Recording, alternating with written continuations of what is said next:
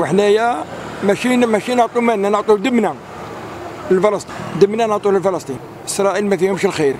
ماتوا كبار ماتوا صغار ماتوا دراري ماتوا نساء ماتوا كلهم ماتوا. يوعدك يقول لك واه ويدور عليك. ما راحتش المعتمر نتاع مصر. تاع السلام اللي داروه قالوا السلام بالفم. وهي ما كاش منها. سلام جمع مع يهودي وشتوا الكفار. كي داروا المؤتمر كلهم قالوا قالوا حماس إرهاب وهم يدافعوا على بلادهم. ما قالوش إسرائيل إرهاب امريكان بريطانيا فرنسا كلهم عديان الله. شن حملات آه، شنيعة على إخواننا في غزة وفي في فلسطين ككل.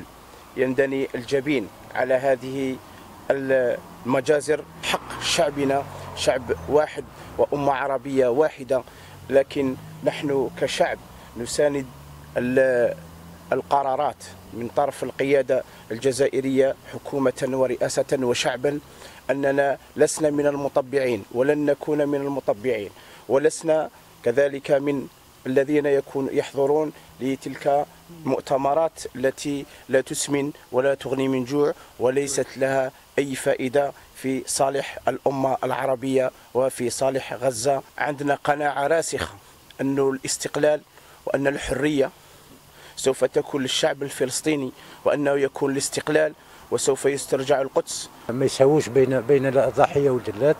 آه آه قالها الرئيس هو بومدين رحمه الله أنه نحن مع فلسطين ظالمة أو مظلومة. الشعب الفلسطيني أو يعاني حقيقة ولكن آه، عندنا إيمان راسخ بأن القدس ستسترجع وسنصلي فيها ذات يوم إن شاء الله. أبناء غزة ما هذا الصمود هو دليل على أنكم على على أنكم ستدفعون الثمن من أجل الاستقلال وخير دليل أنه أحبائكم وأشقائكم الجزائريين ضحوا بمليون ونصف شهيد فأين أنتم من هذه من هذه التضحيات؟ لازم تضحوا لازم تضحوا. المسلم يكون بجانبكم. في السراء والضراء. أما اللقاءات التي ستجرى في بعض العواصم وفي نهاية تكون تساوي ما بين الجلاد والضحية. هذا إحنا الشعب الجزائري حكومة ورئاسة وشعبا مرفوضة. إحنا نبقوا الشيء الإنسان الشيء اللي يخدم غزة وأهل غزة الشيء الملموس. ونتمنى الأمة العربية في هذا الظرف القاسي تتوحد وتعرف الحقيقة من من الخيال.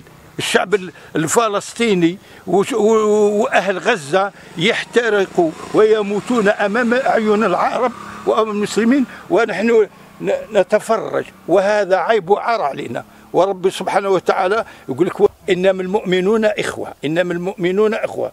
ونتمنى إن شاء الله النصر والثبات لأهلنا في غزة وفي فلسطين. إن شاء الله بإذن الله مهما كانت سنصلي في القدس الشريف.